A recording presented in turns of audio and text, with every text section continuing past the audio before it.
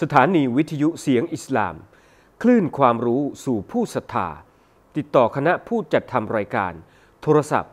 0819153786 ต่อไปนี้เสนอรายการ ตับซิดอัลกุรอาน โดยอาจารย์ มุนซิร มันตีเมาะ أعوذ بالله من الشيطان الرجيم بسم الله الرحمن الرحيم الحمد لله رب العالمين والصلاة والسلام على أشرف الأنبياء والمرسلين وعلى آله وصحبه ومن تبعهم بإحسان إلى يوم الدين. Rabbi syarah li sadari wa yasirri amri wahlun ubdatan min lisani yafqahu qawli. Allahumma la sahla illa ma ja'antahu sahla wa anta taj'alun hazna idha syi'ta sahla. Rabbana zalamna anfusana wa illam takfir lana wa tarhamna lanakunanna minal khasirin. Rabbana la tuzik kulubana ba'da idh hadaitana Wahab lana min ladunka rahmah Innaka antan wahhab. Amma ba'du. อัสสลามุอะลัยกุมวะราะห์มะตุลลอฮิวะบะเราะกาตุขอความสงบสุขความสันติความเมตตาปราณีจากเอกองค์ลลอฮ์ซุบฮานะฮูวตาลาได้โปรดประสบกับท่านพี่น้องนะครับผู้ที่กำลังให้เกียรติติดตาม รับชมและรับฟัง รายการตับซีรุนกุรานทาง สถานีวิทยุเสียงอิสลามนะครับแล้วก็ทางช่องทางต่างๆ พี่น้องครับช่วยกัน กดสนับสนุนกดติดตามนะครับเพื่อที่จะให้วิทยุเสียงอิสลามเนี่ยรับใช้สังคมมุสลิมต่อไปนะครับในภายภาคหน้า อยากให้พี่น้องมีส่วนร่วมนะครับกับรายการทุกๆ รายการแหละครับไม่จำเป็นว่าจะต้องเป็นรายการตับซีรุนกุรอานแต่เพียงอย่างเดียวนะครับรายการทุกๆ รายการที่พี่น้องติดตามที่พี่น้องรับชมรับฟังนะครับอยากจะให้รายการแต่ละรายการนั้นอยู่คู่กับสังคมมุสลิมต่อไป พี่น้องก็ต้องช่วยกัน นะครับช่วยกันดูแลนะครับช่วยกันประคับประคองให้วิทยุเสียงอิสลามนะครับได้ดำเนินดำเนินการต่อไปนะครับในวันนี้รายการตับซีรุนกุรอานนะครับเรามาพบปะพูดคุยกันนะครับวันนี้เราจะขึ้นสู่อายะอันกุรอานนะครับในสุรอัลบากรออายะที่ 122นะครับอายะที่ 122 ซึ่งจะมีความสัมพันธ์เกี่ยวกับครั้งที่แล้วไหมครั้งที่แล้วในอายะอันกุรอานที่เกี่ยวข้องกับ ชาวยิวแล้วก็ชาวคริสต์นะครับ ส่วนในครั้งนี้ล่ะจะเป็นยังไงต้องติดตามครับ เรามาดูกันนะครับในตัวบทของอายะอันกุรอานที่อัลลอฮ์ซุบฮานะหัวตาลาได้กล่าวนะครับอย่าลืมขอความคุ้มครองนะครับ ทุกครั้งที่เราอ่านพระมหาคัมภีร์อันกุรอานอาอูซุบิลลาฮิมินัชชัยตอนิรรจีมยาบานีอิสราอีลดกูรูน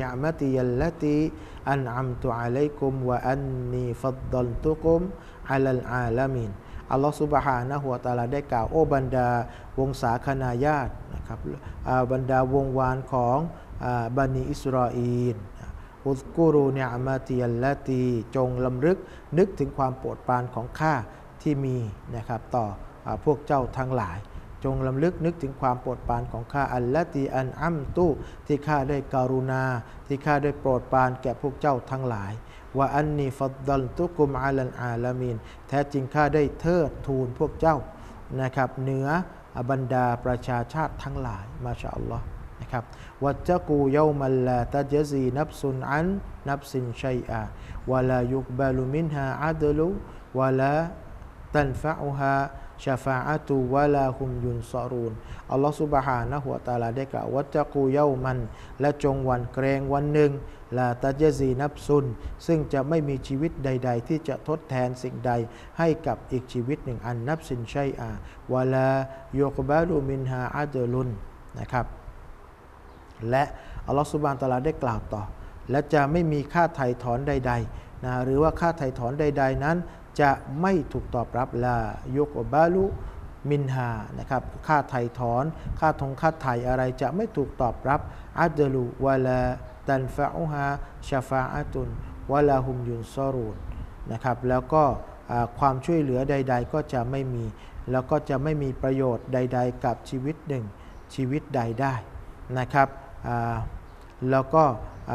วะลาตันฟะอุฮาชาฟาอะตุนวะลาฮุมยุนซอรูนและพวกเขาก็จะไม่ได้รับ ความช่วยเหลือใด ๆ เช่นเดียวกันนะครับอายะกุรานในองค์การที่ 122 แล้วก็องค์การที่ 123 เป็นองค์การที่อัลลอฮฺสุบฮานะฮัวตาลาได้พูดถึงความจริงนะครับเกี่ยวกับคุณลักษณะของบรรดากลุ่มชนชาวยาฮูดและนาซอรอนะครับจนกระทั่งมาถึงอายะนี้พี่น้องครับอัลลอฮฺสุบฮานะหัวตาลาเนี่ยก็ได้กล่าวนะครับพูดถึงบรรดากลุ่มชนนะครับ ชาวยาฮูดแล้วก็ชาวนาซอรอที่เขาอยู่ในลูกหลานอยู่ในวงวานว่านเครือของบันิอิสราเอลนะครับตรงนี้เนี่ยนะครับอัลลอฮฺสุบานตะลาเนี่ยได้กล่าวเอาไว้ ซ้ำไปซ้ำมา ซ้ำแล้วซ้ำเล่าบอกถึงคุณลักษณะต่างๆ ของบรรดาบันิอิสราเอลเน้นย้ำให้กับบรรดาผู้ศรัทธาได้ทราบนะครับส่งเสริมให้กับพวกเราได้เรียนรู้และก็ปฏิบัติตามนะครับสิ่งที่อัลลอฮฺสุบฮานะหัวตาลาได้ให้กับพวกเขาเหล่านั้นพี่น้องครับ มันยิ่งใหญ่มากๆ ยาบันีอิสราเอลอลูกหลานของอิสราเอลเอ๋ย อุสกูรูพวกเจ้าทั้งหลาย จงลำลึกนึกถึงเนื้อมตี ความโปรดปรานที่ข้าได้ให้ อัลละตีอันอัมตุที่ข้าได้มอบให้อายไลกุมกับพวกเจ้าทั้งหลาย ว่าอันนีฟัดดอนตุกุม และแท้ที่จริงตัวข้าเนี่ยได้ให้ความประเสริฐได้เทิดทูนพวกเจ้าทั้งหลาย อาลันอาลามินให้มีความเหนือกว่ากลุ่มชนนะครับชนชาติอื่นๆ ในโลกใบนี้วัจกูเยามัลลาตาเจซีนับซุนอันนับสินชัยอาจงระวังเอาไว้ให้ดี มันจะมีวันหนึ่งที่อะไรที่จะไม่มีใคร จะมาทดแทนให้กับใครได้ จะไม่มีสิ่งใดนะครับที่จะมาเอื้ออำนวยให้กับใครได้นะครับ วลายุกบาลุแล้วก็จะไม่มีการฆ่าไถ่ตัวใด ๆ ที่จะถูกตอบรับมินฮาอาดลูนะครับ แล้วก็อัลลอฮฺซุบฮานะฮัวตาลาก็ได้นะครับบอกว่าจะไม่มีการถูกรับตอบรับนะครับ ใครจะมาช่วยเหลือ ใครจะมาไถ่ตัวใคร วันนั้นจะไม่มีการตอบรับใด ๆแล้วนะครับ วะลาจันฟาอูฮาชาฟานะครับแล้วก็การชาฟาอาการช่วยเหลือใดๆเนี่ยก็จะไม่ยังประโยชน์ให้กับชีวิตหนึ่งชีวิตใดได้อีกแล้ววลาหุมยุนซอรูนจะไม่มีใครที่จะได้รับความช่วยเหลืออีกแล้ว มันหมดเวลาแล้วนะครับ องค์การนี้เป็นองค์การที่อัลลอฮฺสุบฮานะฮัวตาลาได้บอกถึงความจริง แล้วก็องค์การนี้เป็นองค์การที่อัลลอฮฺสุบฮานะฮัวตาลาเน้นย้ำให้ทราบและส่งเสริมสนับสนุน นะครับที่จะให้ปฏิบัติตามท่านรอซูลสลลลอฮุอะลัยฮิวะสัลลัมถึงแม้นว่าท่านนาบีจะเป็นบุคคลที่อ่านไม่ออกเขียนไม่ได้ก็ตามนะครับแต่ว่านบีนั้นเป็นบุคคลที่ได้รับวาฮีจากอัลลอฮฺสุบฮานะฮัวตาลาคุณสมบัติของท่านนาบีมุฮัมมัดสลลัลลอฮุอะลัยฮิวะสัลลัมก็ถูกกล่าวเอาไว้อย่างครบถ้วนสมบูรณ์แล้วนะครับ ตลอดจนลักษณะต่างๆ ชื่อต่างๆคำสั่งใช้ของท่านนบีเนี่ยถูกระบุเอาไว้แม้กระทั่งจะอยู่ในคัมภีร์เตารอดก็ตามถูกระบุเอาไว้ในสิ่งที่อยู่ในคัมภีร์อันกุรอานก็ตาม ดังนั้นอัลลอฮฺสุบฮานะฮุวาตาลาจึงตักเตือนบรรดากลุ่มชนบันิอิสราเอลเนี่ยนะครับไม่ให้เขาปกปิดเรื่องนี้เอาไว้ ซึ่งเขาจะไม่บอก พวกนี้เนี่ยรู้รู้จักนบีมุฮัมมัดไหมรู้ เข้าใจว่านบีมุฮัมมัดจะมาเป็นประชาชาติสุดท้ายไหมพวกนี้เข้าใจนะครับแต่พวกนี้พยายามที่จะปกปิด สิ่งต่างๆ เอาไว้นะครับ ปกปิดสิ่งต่างๆ ที่อัลลอฮฺสุบฮานะฮัวตาลาได้กล่าวนะครับถึงท่านนาบีไว้ในคัมภีร์เล่มก่อนๆเพราะความความอิจฉา ความริษยาต่อบรรพบุรุษนะครับของอะไรนะครับต่อบรรพบุรุษของพวกเรา นั่นก็คือชาวอาหรับ นะครับ โดยที่อัลลอฮฺสุบฮานะฮัวตาลาได้แต่งตั้ง ท่านนบีมุฮัมมัดสุลลัลฮุอะลัยวะสัลลัมเป็นศาสนทูตคนสุดท้าย แล้วก็เป็นศาสนทูตที่มาจากเผ่าอาหรับนะครับ พวกนี้ก็เลยมีความอิจฉา มีความริษยา นะครับ โดยที่พวกนี้เนี่ยก็จะทำการฝ่าฝืน และก็กล่าวหาท่านนบีมุฮัมมัดสุลลัลฮุอะลัยฮิวะสัลลัม นะครับอายันกุรานที่กล่าวมาทั้งหมดก่อนหน้านี้ เป็นการบ่งบอกถึงนะครับสิ่งต่างๆ ที่อัลลอฮฺสุบฮานะฮุวาตาลาได้ให้กับบรรดากลุ่มชนบันิอิสราเอลนะครับสถานะของกลุ่มชนบันิอิสราเอลนั้นก็สูงส่งตามนัยยะแห่งอันกุรานองค์การนี้ มีนะครับมีความสูงส่งเหนือกว่าประชาชาติอื่น ๆ แต่พวกเขาเลือกที่จะปฏิเสธต่อท่านนบีมุฮัมมัดสลลัลลอฮุอะลัยฮิวสลัมเลือกที่จะเป็นปรปักกับท่านนาบีมุฮัมมัดสลลัลฮุอะลัยฮิวสัลลัมดังนั้น เป็นการสร้างความโกรธกริ้ว จากอัลลอฮฺสุบฮานะฮุวาตาลานะครับในองค์การที่ 124 พี่น้องครับ องค์การที่ 124 อัลลอฮฺสุบฮานะฮุวาตาลาได้กล่าวนะครับว่าอิดิบตาลาอิบรอฮีมารับบุ บิคลิมาตินฟาอัตัมมาฮุนนะในองค์การนี้ครับอัลลอฮฺสุบฮานะฮุวาตาลาได้บอก พวกเจ้าทั้งหลายจงลำลึกในขณะที่พระผู้อภิบาลของพวกเจ้าได้มีนะครับเรื่องราวนะครับมีการกล่าวถึงหรือว่าทดสอบนะครับเกี่ยวกับบรรพบุรุษของพวกเจ้านั่นก็คือนบีอิบรอฮีมبكلمات فأتمهن ด้วยกับบัญชาหรือว่าสิ่งต่างๆ ที่เป็นคำบัญชาใช้บางประกาศนะครับที่อัลลอฮฺسبحانه وتعالىทรงมีกับนบีอิบรอฮิมعليه السلام قال إني جاعلك للناس إماما แล้วเขาก็ได้ตอบสนองคำบัญชา ท่านนบีอิบรอฮิมเนี่ยนะครับก็ได้ตอบสนองคำบัญชาของอัลลอฮฺسبحانه وتعالىอย่างครบถ้วนกอละวามินดุริยาตี และพระองค์ก็ได้ทรงกล่าว นะแท้ที่จริงเนี่ยข้าจะให้ดุริยาตีนะจะให้เจ้าเป็นผู้นำจากประชาชาตินะเป็นผู้นำเนี่ยนะครับกอลาอินนีจาอิลูกาลินนาซีอิมามาข้าจะแต่งตั้งเจ้าจะสถาปนาเจ้าให้เป็นผู้นำเป็นนายแห่งประชาชาติกอลาวามินดุริยาตีและท่านนบีอิบรอฮิมก็ได้กล่าว โอ้ พระผู้อภิบาลของข้า โอ้อัลลอฮ์จ๋าได้โปรด ประธานทรงแต่งตั้งให้ข้าเป็นผู้นำแล้วเนี่ยแล้วก็แต่งตั้งให้ลูกหลานของข้าด้วยสิกอลาลายานาลูอาฮดิลอลิมีนและบรรดาลูกหลานของของข้าพระองค์เนี่ยพระองค์ได้ทรงให้สัญญานะของข้าได้ประสบแก่บรรดาอย่าได้ประสบแก่บรรดาผู้ที่มีความอธรรมนะครับท่านนบีอิบรอฮิมก็ได้มีการขอดุอาเอาไว้ นะครับอัลลอฮฺสุบฮานะฮุวตาลาได้กล่าวถึงนะครับนบีอิบรอฮิมในองค์การที่ 124เนี่ยนะครับว่านบีอิบรอฮิมนั้นเป็นผู้ที่พระองค์อัลลอฮฺสุบฮานะฮุวตาลาทรงรักนะครับแล้วก็เป็นผู้ที่อัลลอฮฺสุบฮานะฮุวตาลาได้ทรง แต่งตั้งให้เป็นผู้นำแห่งบรรดามวลมนุษยชาติอัลลอฮฺสุบฮานะฮุวตาลาได้เตือน ให้กับบรรดากลุ่มชนบันิอิสราเอลได้ลำลึกนึกถึงความประเสริฐนะความมีเกียรติ ที่อัลลอฮฺสุบฮานะหัวตาลาได้มอบให้กับพวกเขา ตั้งแต่บรรพบุรุษของพวกเขาแล้ว ไล่เลยไปถึงจนกระทั่งถึงในยุคของสมัยนบีอิบรอฮิมอัลลอฮ์ทรงรักอัลลอฮ์ได้ทรงแต่งตั้งให้นบีอิบรอฮิมเป็นอบุลอันบิยะเป็นบิดาประกาศก เป็นบิดาของบรรดา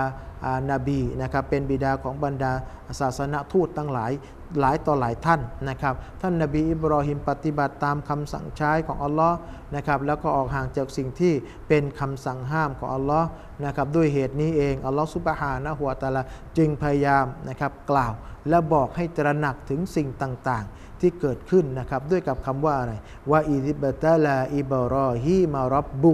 บิคาลิมาตินฟาอัตัมมาฮุนนะ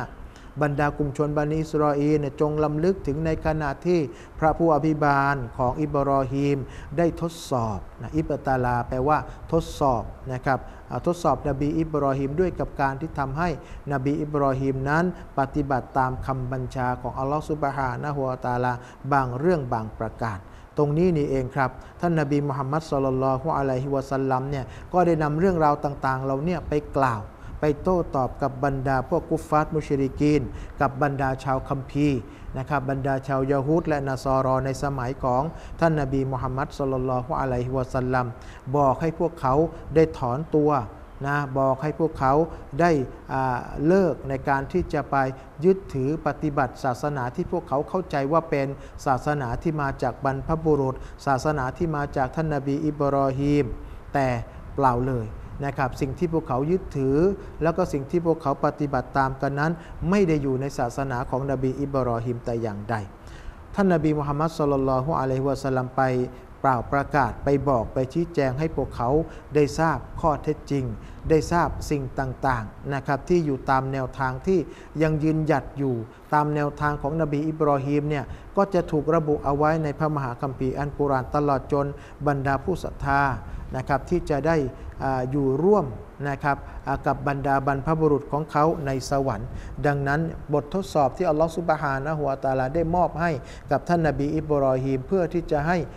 ท่านนาบีมุฮัมมัดสุลลัลลอฮุอะลัยฮิวะสัลลัมเนี่ยเอาเรื่องราวต่างๆ เราเนี่ยไปบอกไปกล่าวไปตักเตือนกับบรรดาลูกหลานของนบีอิบรอฮีมพี่น้องอย่าลืมนะครับ ลูกหลานของนบีอิบรอฮีมเนี่ยจะมีอยู่สองสายด้วยกัน สายที่หนึ่งก็มาจากสายของพระนางซาระสายที่สองก็มาจากสายของพระนางฮายัดนะครับ ซึ่งนบีอิบรอฮีมเนี่ยมีภรรยาสองท่านด้วยกัน ภรรยาคนแรกเนี่ยชื่อว่าซาระนะครับภรรยาคนที่สองเนี่ยชื่อว่าฮายัดคราวนี้พี่น้องครับ จากสองสองสายนี่แหละครับ จึงเป็นเหตุนะครับที่ทำให้บรรดากลุ่มชนบานีอิสราเอลนั้นไม่พอใจในตัวกลุ่มชนบานีอิสมาอีลนะครับแตกต่างกันนะบานีอิสราเอลก็คือลูกหลานของบานีอิสราเอลนี่ก็คือลูกหลานของอิสราเอลอิสราเอลนี่ก็คือกลุ่มชนชาวยาฮูดีนะครับกลุ่มชนกลุ่มชนในสายลูกหลานนะครับที่อยู่ในนบีอิสฮากนบียะกูบ นะครับนี่เป็นลูกหลานทางฝั่งของพนังซาระส่วนลูกหลานทางฝั่งของพนังฮายัดนี่ก็คือนบียูซุฟนบีอิสมาอีนอะลัยสลาม อันนี้จะเป็นสองฝั่งด้วยกัน จะเป็นสายสกุลนะครับ ซึ่งมาจากนบีอิบรอฮีมท่านเดียวกัน แต่พี่น้องครับในสองสายตระกูลนะครับที่เราได้พูดถึงนี้นะครับเป็นสายที่เป็นลูกหลานของนบีอิบรอฮิมทั้งสิ้น นะครับเรียกว่าเป็นบานีอิสมาอีนนะครับกับบานีอิสรออีนนะครับแตกต่างกัน พี่น้องอย่าอย่างงนะครับอย่าเข้าใจประเด็นผิดไปนะครับดังนั้นในในตัวของท่านนบีอิบรอฮิมเนี่ยปฏิบัติตามคำบัญชาของอัลลอฮฺสุบฮานะฮัวตาลาดำเนินนะครับดำเนินการอย่างครบถ้วนปฏิบัติตามในสิ่งที่อัลลอฮ์ใช้ ออกห่างจากสิ่งที่อัลลอฮ์สุบฮานะฮัวตาลาครบถ้วนกระบวนความ ดังนั้นอัลลอฮ์สุบฮานะฮัวตาลาจึงกล่าว ถึงนบีอิบรอฮีมเนี่ยนะครับว่านบีอิบรอฮีมนะว่าอิบรอฮีมัลลาดีนวัฟฟาแล้วก็นบีอิบรอฮีมนั้นปฏิบัติตามอัลลอฮฺสุบฮานะฮัวตาลาเนี่ยปฏิบัติตามคัมภีร์เนี่ยปฏิบัติตามสัญญาเนี่ยอย่างครบถ้วนสมบูรณ์แล้วนะครับในสุรตุนนัจมีอายะที่ 37 ด้วยกัน และพี่น้องครับนักวิชาการก็หยิบยกอายะอันกุรอานนะครับ ก็คือการปฏิบัติตามบทบัญญัติของนบีอิบรอฮีมเนี่ยนะหมายถึงทำสิ่งต่างๆ อย่างครบถ้วนสมบูรณ์แบบ นบีอิบรอฮีมไม่ได้ทำอะไรบกพร่องนะครับไม่ได้มีอะไรตกหล่น แล้วก็ไม่ได้มีอะไรที่ไปขัดกับหลักการของศาสนา แล้วเหตุชไหน พวกนี้จึงมีความรังเกียจเดียดฉัน ท่านนาบีมุฮัมมัดสลลัลฮุอะลัยฮิวะสัลลัมหรือนะครับชนเผ่าอาหรับ ซึ่งไม่ได้มีความอะไร ไม่ได้มีความเกี่ยวพันอะไรกันเลย แม้แต่น้อย นักวิชาการทางด้านการอธิบายอันกุรานเนี่ยบอกว่ากลุ่มชนชาวยาฮูดและนาซอรอนั้น เป็นกลุ่มชนที่มีความอิจฉา มีความริษยา ต่อบรรพบุรุษของกลุ่มชนชาวอาหรับนะครับมีความอิจฉาริษยาต่อท่านนาบีมุฮัมมัดสุลลัลลอฮุอะลัยฮิวะสัลลัมพวกนี้นะครับก็เลยฝ่าฝืนคำสั่งทั้งๆทที่รู้จักนบีไหมรู้จักดี นะครับรู้จักนบีไหมรู้จักดีอย่างมากทีเดียว เพราะท่านนาบีนั้นถูกกล่าวทั้งในเตารอดทั้งในอินจีน แต่พวกนี้ก็ไม่สนใจใหญ่ดีนะครับอัลลอฮฺสุบฮานะฮัวตาลาบอกว่าเขารู้จักนบีมุฮัมมัดเนี่ยรู้จักดีมากกว่าลูก รู้จักดีเหมือนกับลูกกับหลานของเขานี่แหละ แต่พวกนี้พยายามที่จะอะไรปิดบัง พยายามที่จะบิดเบือน พยายามที่จะด้อยค่า ให้กับท่านนาบีมุฮัมมัดสุลลัลฮุอะลัยฮิวสัลลัมแล้วก็สายสกุลทางฝั่งของบันิอิสมาอีดนะครับเพราะว่าถือว่า สายสกุลทางนี้นะเป็นสายสกุลที่มีความต่ำต้อย เป็นลูกเมียน้อย แล้วก็เป็นกลุ่มชนที่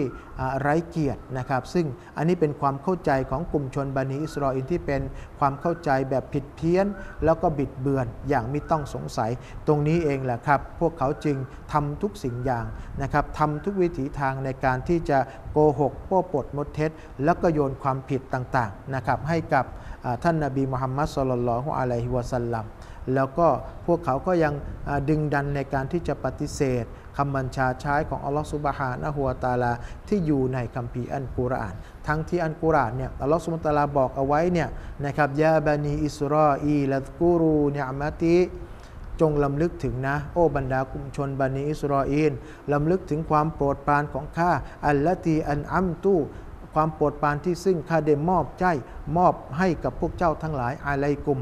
มอบให้กับพวกเจ้าทั้งหลายในอดีตเนี่ยว่าอันนีฟัดดันตุกุมอาลัลอาลามีนข้าได้ให้เกียรติเทิดเกียรติของพวกเจ้าทั้งหลาย ให้เหนือกว่าบรรดาประชาชาติในยุคแต่ละยุคยุคอื่น ๆ แต่พวกนี้ไม่สำนึกและไม่สำเนียกดังนั้นนี่แหละครับเป็นเหตุที่ทำให้อัลลอฮฺสุบฮานะหัวตาลานั้น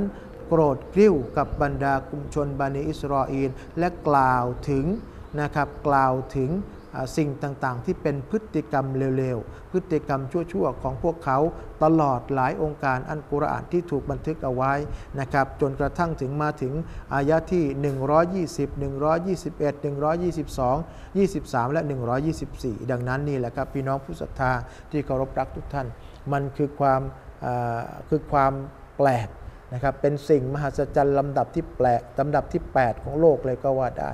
นะครับกลุ่มชนนะครับศาสนาที่เชื่อศรัทธาในพระเจ้า ในขณะเดียวกันพวกเขาก็ปฏิเสธ สิ่งที่มาจากพระเจ้าเช่นเช่นเดียวกับท่านนาบีมุฮัมมัดที่นบีมุฮัมมัดเป็นผู้ที่ได้รับการแต่งตั้งจากพระผู้เป็นเจ้าคัมภีร์อันกุรานเป็นคัมภีร์ที่มาจากพระเจ้า แต่พวกเขาก็ยังดึงดันในการที่จะปฏิเสธ ดึงดันในการที่จะอะไรครับ ในการที่จะไม่ยอมรับ คำบัญชาของอัลลอฮ์ไม่ยอมรับศาสนทูตของอัลลอฮ์والعياذ باللهขอความคุ้มครองนะครับ ให้พวกเราได้พ้นจากสิ่งต่างๆ เหล่านี้